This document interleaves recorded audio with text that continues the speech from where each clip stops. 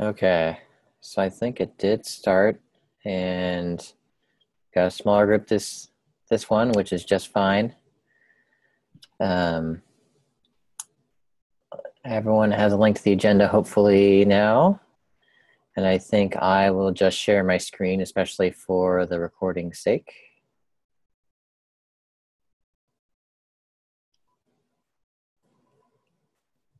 Okay, so hopefully folks can see that. Great, great, great. Okay. Let me go to the agenda.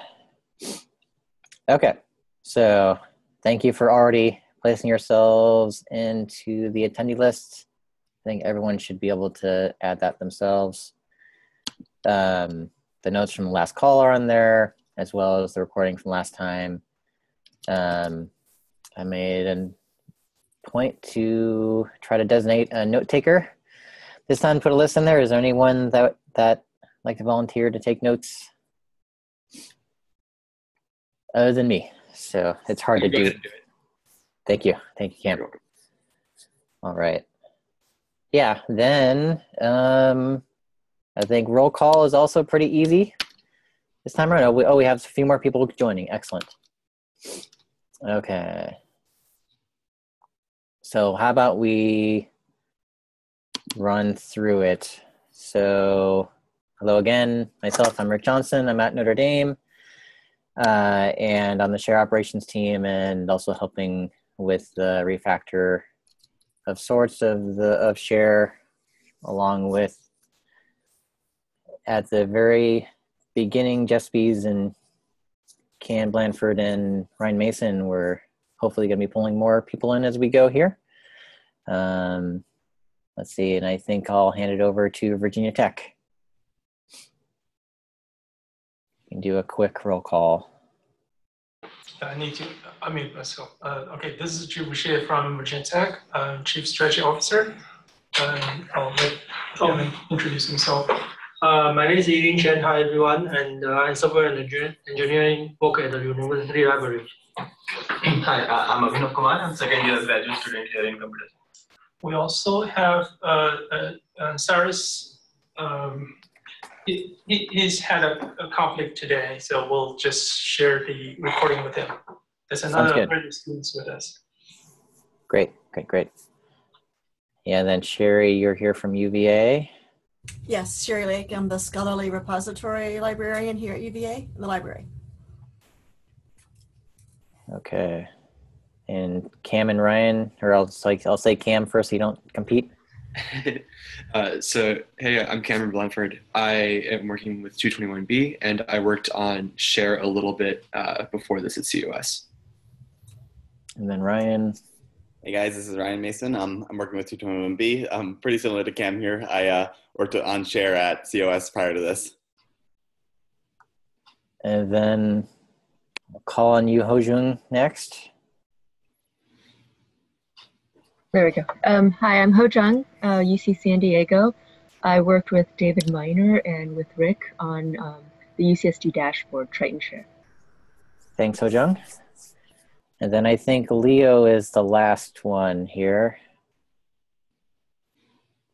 You are muted. Okay, now I'm There we unmuted, go. I think.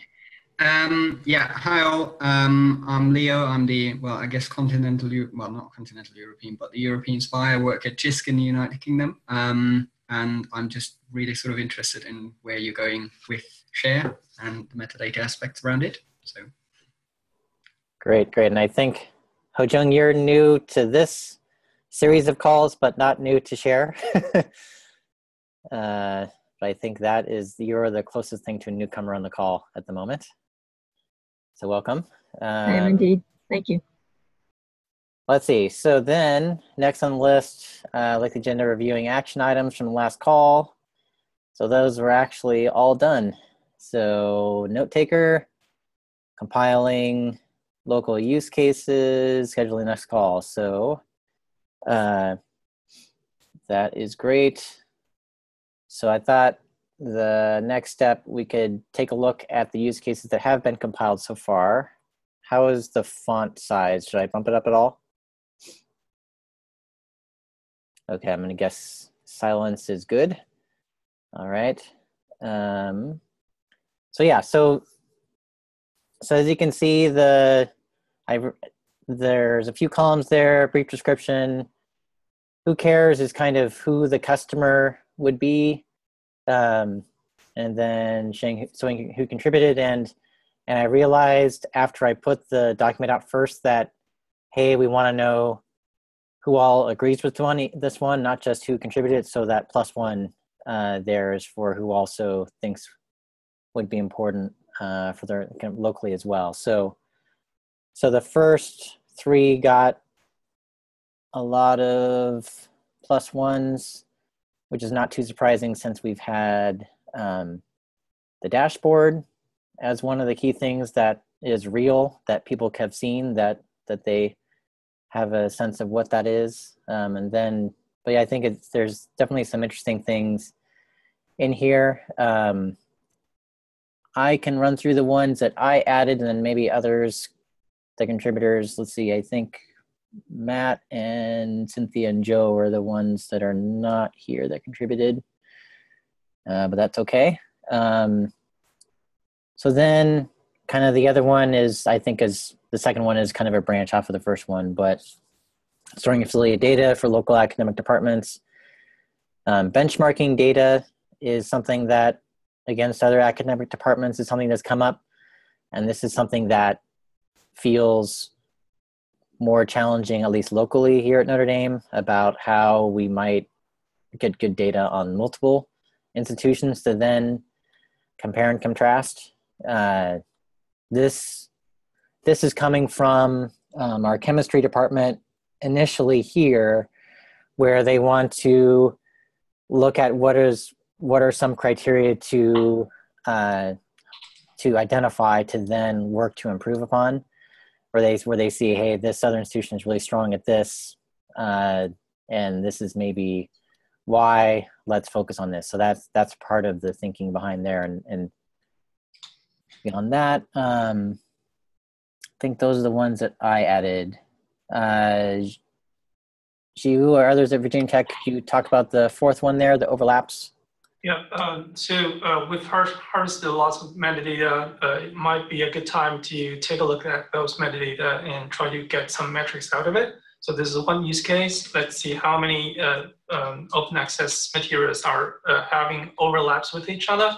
Mm. And if there are overlaps, what are the, uh, which are of the better quality and so on. Okay, okay. And then um, Hojung, the that fifth one there, analytics related use cases. This is something that uh, David Minor had actually sent to me, where he said, "Hey, would it make sense to do do just a general unpacking of different use cases that were there?" So I don't know. That might be something just to follow up with him to maybe flesh that out more. Um, I don't know if you have any immediate like comment on that or not. No, unfortunately, I need to touch base with them. I was out all last week and didn't okay. have a chance to do that. No worries, no worries. Yeah, this is a living document, so it's it's all good. And then Sherry, you had the next one. Yeah, it's it's coming from the notion that there's no way in Samvera to have e- the OAI PMH harvesting. So I was coming mm-hmm. from it from the other side. If there's a use case to put um, metadata from Hydra, Samvera repositories in share, then we need some way to get it out. Okay, okay. Okay. And then I'll read through the next one. Let's see. Aggregate scholarship and research activity of Arizona's three public universities and do discover a dashboard. So I think this is kind of like the uh, the Arizona Data Live use case, right? Or Arizona Live Data. I can never remember the exact order that there is a portal for that that COS has stood up in the past year i believe. Um, but i think that's where that is coming from. Let's see. And then cynthia has some fatale added. A use case that lines up um, with the the currently there's an NEH grant related to share that is to work to make uh, digital humanities work more discoverable and findable. So that's where that is coming from. So wanted to make sure we didn't lose sight of that. So she added that. Um, and then the unpaywall, I'll just read through that one as well. So integrate unpaywall, those looking for legal open versions of information resources. This is an interesting one because there, um, there are things like the, think I remember seeing something about like the open access button project. I don't know if others saw that, um, but this seems related to that. But it would be, it, it seems like something where we might just want to, however we were um, displaying the metadata, be able to highlight or tag or mark ones. These, these are sources that are open access sources, right? So any comments on these?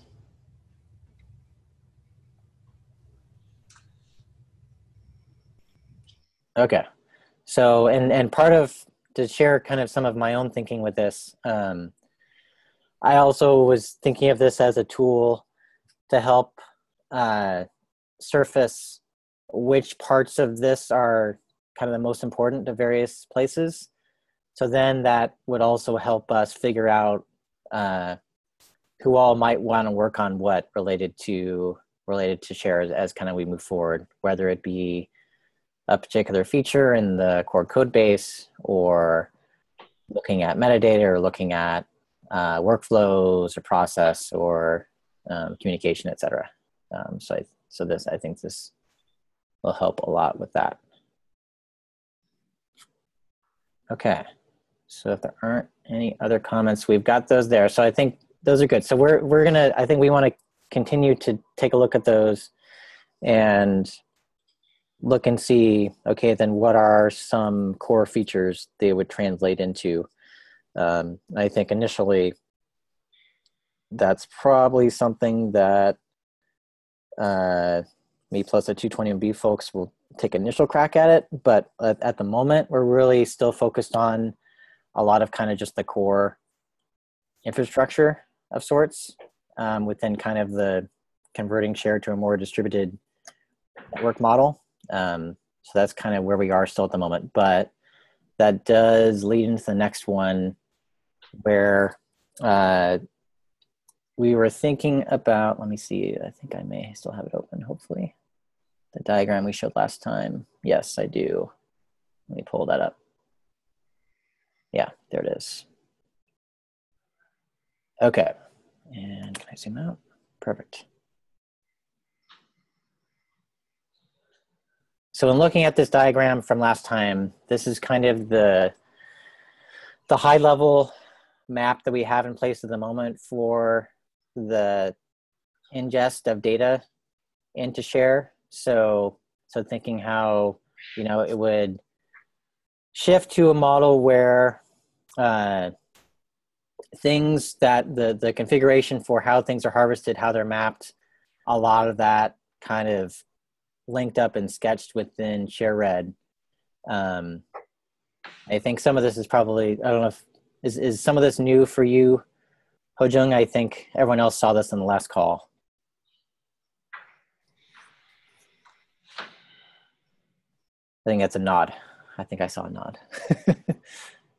yes. Okay. Oh yeah. So so I'll I'll try to fill in little background pieces as I go. Um, so so kind of the the idea being that within ShareRed we kind of link up these basic harvesting workflows, and within that each node can do a particular task, and within ShareRed you can also wrap up multiple nodes into kind of like a super node. Um, so within that, a lot of these things we're working through that if they are, you know, the same every time, or it's just really just a tiny, tiny like configuration or parameter you supply, we would, that's where we're aiming to keep that as simple as possible on the, the user administrator end of sorts. Um, so we're thinking, so the, for, I think Ryan and Cam, you can give an update in a minute on some of the things you've been working on, but uh, some things I'm working on this week and recently is looking at the data model and metadata model. And this is not like saying that i have or that we have a a like concrete sketch of what that is yet, but in looking at uh, what exists for today for share as one of the baselines, um, again, looking, taking a look at what is there with DataCite and Crossref, um, thinking about the idea of really wanting to move share closer to a knowledge graph being another uh, criteria there. Uh, but essentially, the thinking here is that we would start with one process of mapping from a particular source to then the data model. Um, so that's where these things come in. So we've got thinking that for any source, we would likely have kind of a source schema definition, uh, and then have a mapping that then goes to the share data model. And you can see this is colored the same on purpose. So it's meant to be kind of the same thing used later on in the process, but it could be an input to a harvester where these things may just be things that you won't oops, will not have to change as much. So uh, the assumption at the moment is that we'll need to make sure we know what to map to in terms of the data model. Sorry, that keeps popping up. I was hoping I could avoid doing that for now. Um, yeah, so so at the moment, um, my thinking, and I was bouncing this off these these ideas off of Ryan, Cam, and Jeff this morning, was uh, that we do want to have um, a more object based schema where if you're looking at let me pull i think i had DataCite up recently. If, i'll just pull it up though. So in looking at DataCite data site is particularly focused on the work or the research activity as kind of the the primary part of the schema. Let me scroll down. So this is, I think, the latest DataCite schema release. If if there is a newer one, definitely please let me know. Um, but essentially, thinking all around, hey, there's a record for an article or a data set. But then alongside that, uh, what we've had and share in the past, what I think is probably one they would want to continue, is you also have the independent notion of a creator that may have created many things or a contributor that may have contributed to many things. The independent notion of an organization that is affiliated with particular work. So kind of like having all those things be mapped out. And then also things like subject and discipline also be their own entities so we could start to group things accordingly and link things uh, based on relative attributes. So that's kind of my assumption at the moment. Um, any comments on that? Or plus ones? Does that seem like the right track? Hi, this is Sherry. I think for DataCite, it's a good track because their metadata is very consistent. mm-hmm. When you get to Crossref, their schema depends on what type of resource it is. So it's very, it's, it's, it's varied. Yeah, I looked at yeah, I looked at Crossref quickly as well, and and I had the same reaction where it did not seem like a starting point, Yeah. but something that we could map to if necessary, right? So, yeah, yeah, But unfortunately, unfortunately, Crossref, of course, has all the papers and things. Um, DataCite has papers and stuff, but it's not. It, it wasn't there in the field at first where Crossref is. So it's right, right, right, right, right. Uh, Yeah, so, yeah, so that may be a more complex mapper harvester to build for Crossref, but that's okay. Um, And uh, as we discussed further, we already wrote up the uh, the work schema validation for Crossref, and so it's obviously just the first step in that, but it's a you know it's a step in the right direction. And as we continue, we'll have more and more validation and mapping for Crossref.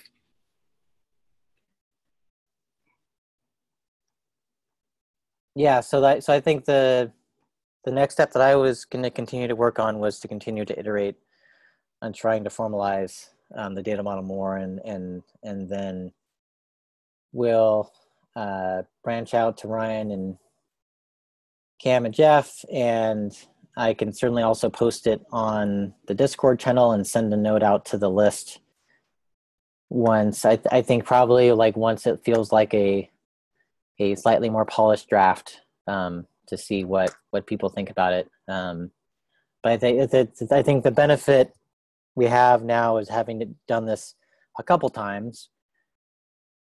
It's able to move past things that are more hypotheticals, and and I'm and I'm very much thinking of trying to stick close to that DataCite as initial standard as possible but again, because DataCite is kind of focused on the work centric aspect, there's other things that are there. There's also Vivo uh, ontology as well that does map well to a knowledge graph use case. Um, so the, the, it's just slightly much it's much more complex. So I'm feeling like we want to maybe be somewhere in between, but again, be able to translate back and forth as as needed between these things. Um, does anyone have any like opinions on Vivo necessarily, or think at, at Virginia Tech you have Vivo, you're using Vivo, correct? I don't know how much how much exposure you've had to it. It's not officially launched yet. They're still working on it. Okay, okay. Yeah, but I don't know how much exposure you've had to the internal uh, metadata ontology and things like that. That part I'm not sure. I need to check with them. Okay, okay. But yeah, because the I may still I still have it open? I did have it open before. I can pull it up to show you what it looks like. Uh, is that it? Yes, I think this is the one. Yes, this is it. So this is kind of the high level look at it and no, it's not. There we go. Let's see if I can get it to zoom in a little bit more. I think it looks more intimidating in this format than it actually is, just because all of the arrows everywhere make it look like a lot more. Um, but when you count the actual like number of boxes, it's not that many. It's you know it's it's like uh, you know 30 or 40 possibly, um, which is not too bad. But this is some this is something also we're keeping in mind of wanting to map well to, and also trying not to duplicate too much to create yet another metadata standard and schema that that folks would work with. Um, so I think that that's a part of it as well. Um, I think there, there, there, there certainly could be something, at least with DataCite, where we might tweak um, the expectations around fields or whether they're mandatory, recommended, or optional. DataCite has that designation, and I actually just went through that exercise for another thing, and there were at least a few fields that I marked as mandatory that they had as recommended, like description. I think should be mandatory, not not re- recommended. Um, but just little things like that, right? Um, I think it would be the, the the easy ones to to tweak. But but it still kind of sticks through the sticks to the the standard. So that's where that's where we are with that. Um, any other questions on that? Any comments?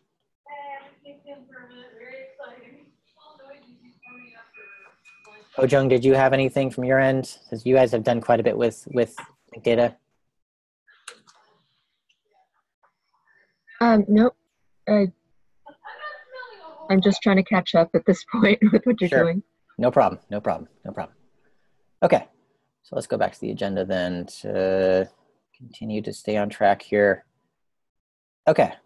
So so Cameron Ryan, did you have anything else that you wanted to share today? Yeah, um, I will share my screen really quick. Okay. Where is that?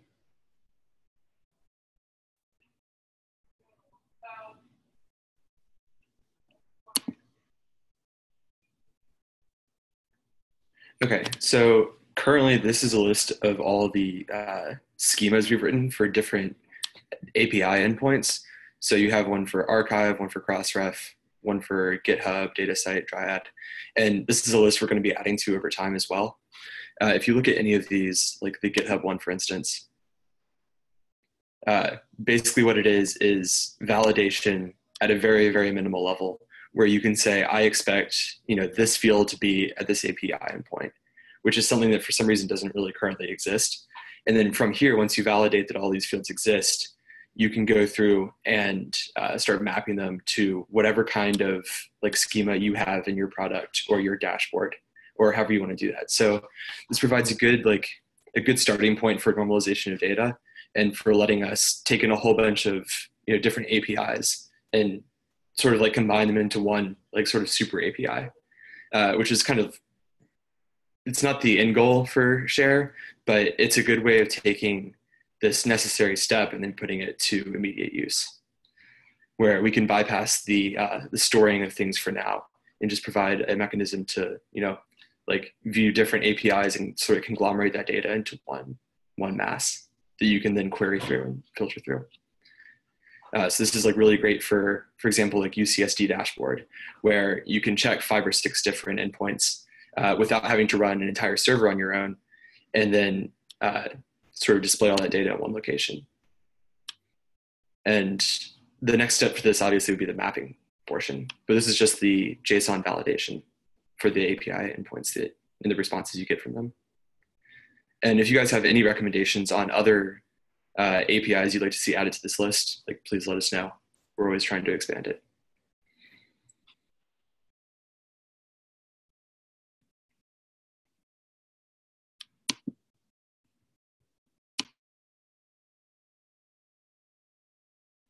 That's all.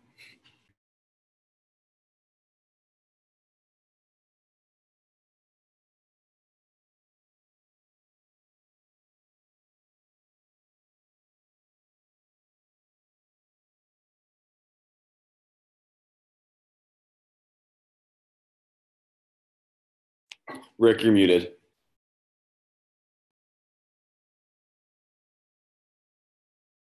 Thank you. Thank you.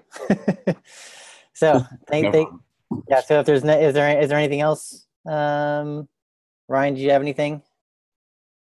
Uh, pretty much what Cam was going over with the uh, schemas. That was about all that we were working on right now. Okay. Okay. Great. Great. So that covers what I said when I was muted. Then. I will mention uh, one more thing, and that's that uh, work on decentralized database stuff is going pretty well. Uh, we have a few test inst- instances up and running of just very, very basic like uh, communication protocol between several nodes. Uh, but it's it's getting there. We're making progress. Great, great. Yeah. So, so like kind of along those lines. Um, so one of the things that we also have been talking about offline um, was how to start to pull in some other f- folks to contribute uh, some code. And I think the initial idea is to draft up some smaller tickets, probably as GitHub issues, right? Is what is thought of. Um, I see some nods. Yeah. So I think that's what we had talked about. Um, so look for that um, we figured that would be a, a way to try to bring folks in, in addition to kind of looking at this metadata aspect. So, like, once I think we have the draft metadata model in place, that at least, assuming this is not going to be the like the final destination, but at least something to start working with. And then, as we start working with, we'll we'll of course see any holes that are there. Um, that is the so then we probably would identify okay for various sources and if and and even if i guess that makes me think would it would it be useful to compile a list of um, preferred sources as well to see where there is any convergence around that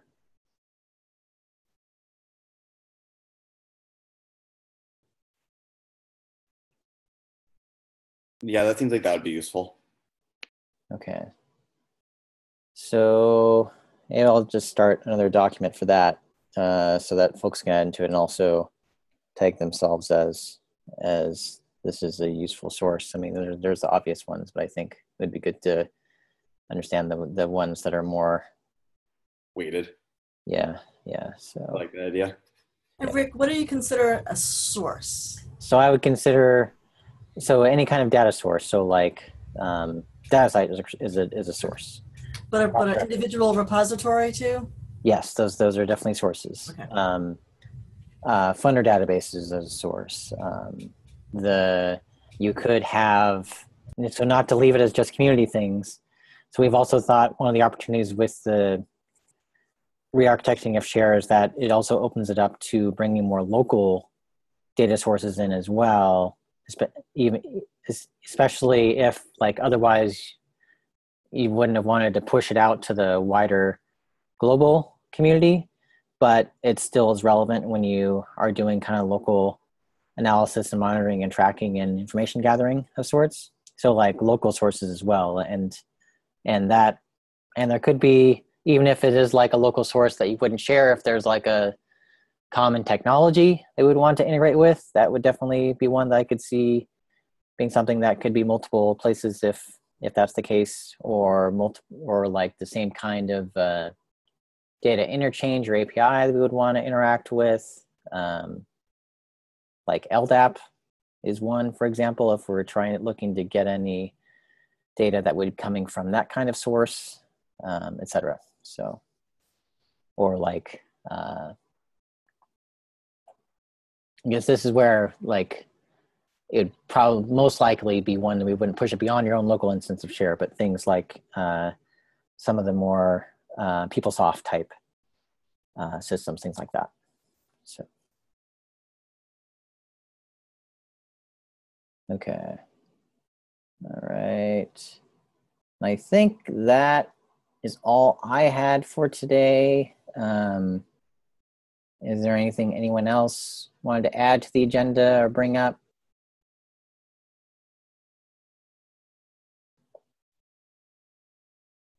Anyone, Virginia Tech, um, from your end, since you are signed on to be in another instance note of this, um, like, is there anything in your mind that you can think of, okay, this is what we need to try to figure out in order to get organized and plugged in ourselves?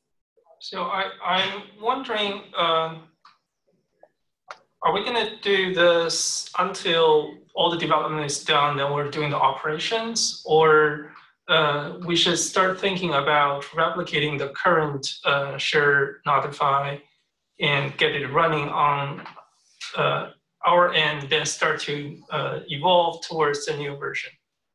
Uh, Abhinav has a, I think has a good question that, yeah, go ahead, ask Yeah. it. Hi. So, uh, so as this is my first meeting, so what I got is all the uh, source and destination uh, data movement is kind of a pull movement. Like you will run a a job and that will fetch data from the source and put it to your repository.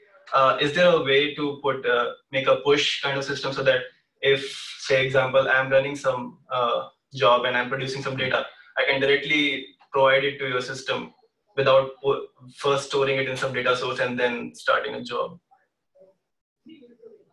Yeah, that's a that's a good question. So obviously that that would require some kind of listener um, within the infrastructure, right? So the I mean that that has existed for share as of today with the the current sheds in production, um, and it's good to know that we would want to try to continue some kind of support for that. Um, Is this part of red functionality or not? I'm not sure. say again. Oh, the, oh, the Node Red. Yeah, the, the Um, listening part. Yeah, I don't. I don't. Cam or Ryan, do you know answer that or? Uh, what's the question exactly? So, so- go ahead. Go ahead. Uh, so um, most of what we're doing right now is to pull stuff from source. I wonder if uh, Red allows uh, we have some kind of a listening port so people can push to us. Oh, uh, I think there's no reason that couldn't be done. Uh, so the way this would end up working is that we would have an API with probably like a public endpoint of some sort, Yeah. uh, where you could submit. So we would be submitting data through that public API. Like we'd be posting to that API using Node-RED.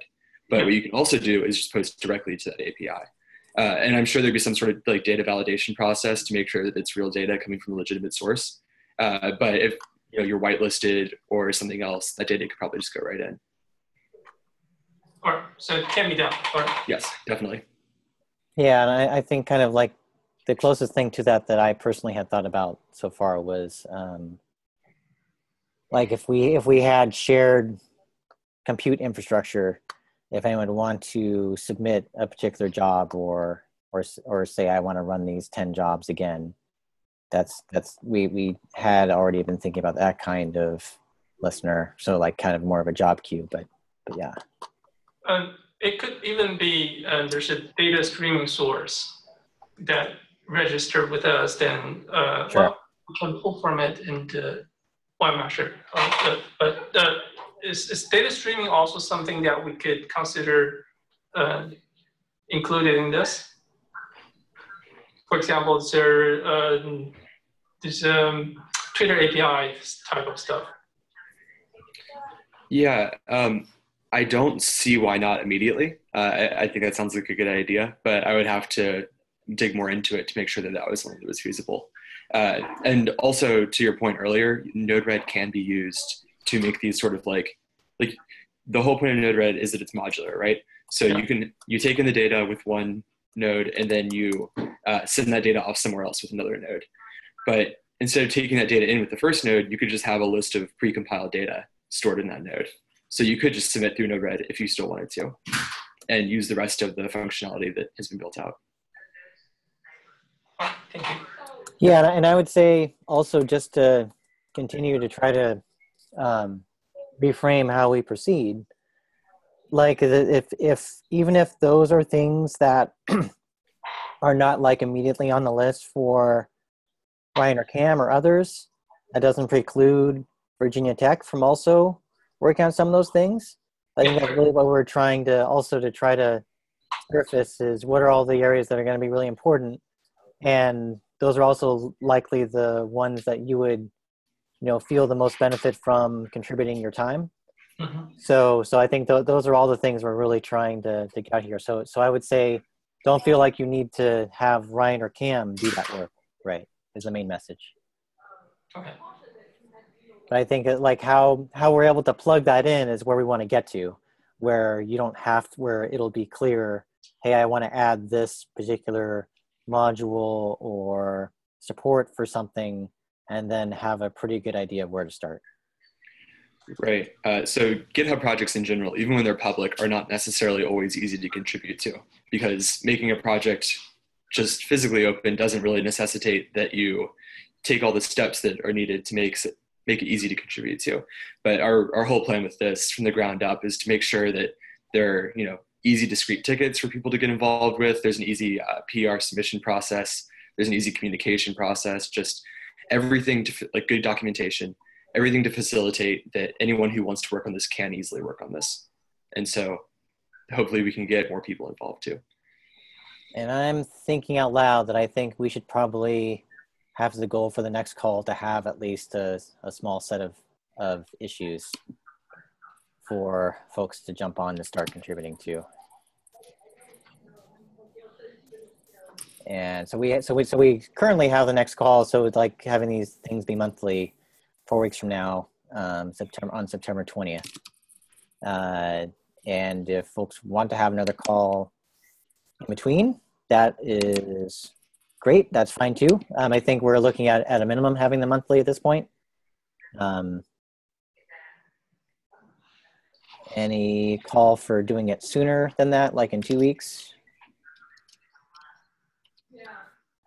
Let's just think about this. Uh, we'll reach out to you. Yeah, maybe I, I imagine that'll change once we start getting more tickets documented and things like that, and even things that may uh, warrant more weekly check-ins at times, depending on people that are that are if if if we're depending on how active various folks are Yep. working on this stuff. So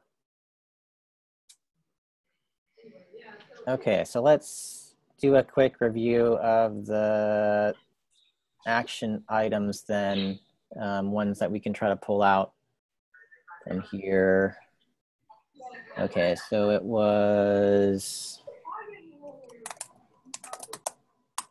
List of issues. yeah.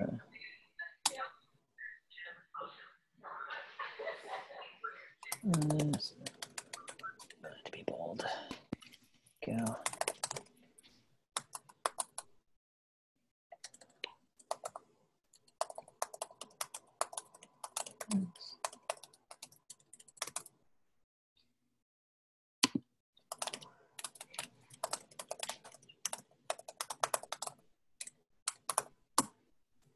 Uh, let's see, the other one was a document for uh, List of sources. filing sources. Yep. I shouldn't use the word compile. Let's,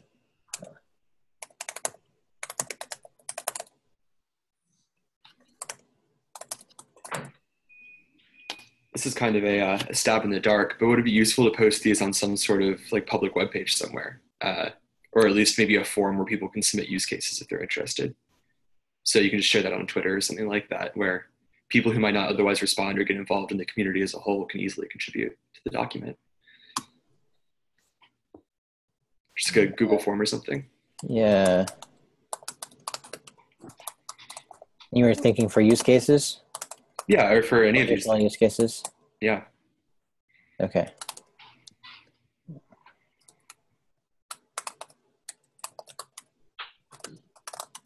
Yep, yep, yep. Let's see, is there anything else? Maybe that was it. Besides just things that are already ongoing. Um, I could put down uh, draft data model for next call. Just to try to put a date against that. Okay. All right. I think, are we close to things for today? All right. I think if there is nothing else, then I think I will wrap it up then. Cool. Thank you again all for joining. Um, like I said, I, I hope more and more that we continue to get more into the details on these and less presentation and more active discussion and planning and coordinating. So,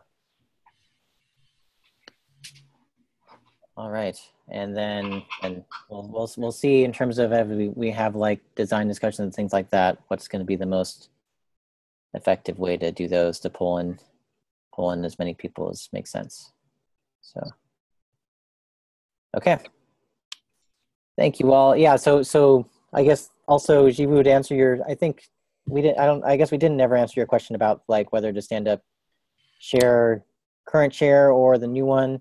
And I think we were assuming that you wouldn't stand up the current one yet. Um, that we would try to start from kind of this new architecture if we could. So do we have some kind of ballpark estimate on when this uh, new architecture will be in place? There is no estimate yet. Uh, so I think, um, but I think it, it would, probably would be useful to start to set some some small incremental dates. Yep. I think once we start getting the issues and all the things in GitHub, that'll facilitate that a lot faster. Yeah. Okay. Yeah, but but also like there's probably some some like high level milestones we can try to uh, document, like you know having an instance of the server up, um, having a job queue running, um, like kind of kind of things of that nature, right? So And I, I would think um, to be able to harvest everything that the current share notify is harvesting, that probably would be one of the um, milestones that we're looking for.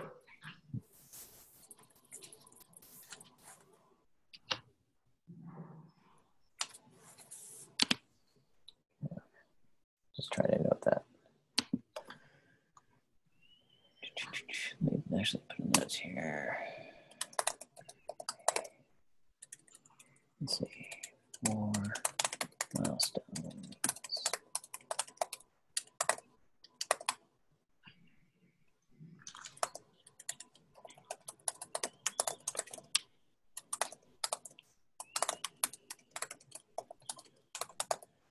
And I think for that one, it may be useful to take a look at the list of what's there and whether we would like assume we harvest everything now, but then look to see if we if there would be anything that we would um, do sooner rather than later, right? Um, be only since since there are a lot of sources in share now. I think that would be the only thing making sure. But at the same time, like the, the one of the goals for this is to make it easier to configure and map sources to things. So those are also things that we could make it easier to farm out to try to help fill out that list. So, uh, what was the other thing? Um, before this, having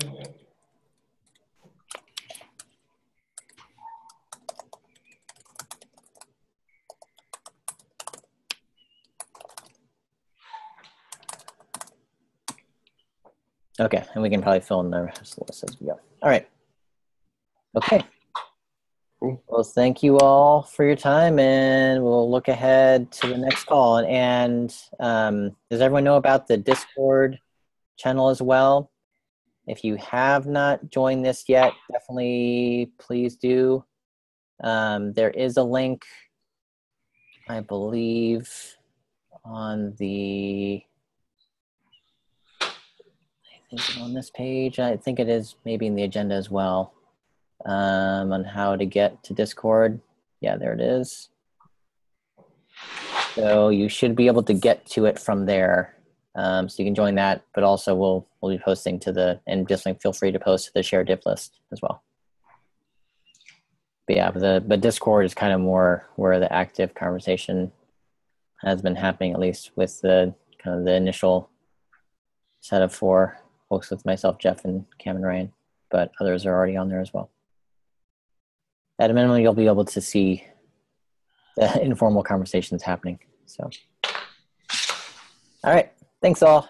Hope you have a good rest of the day. Take care. Thank you. Bye bye. Bye.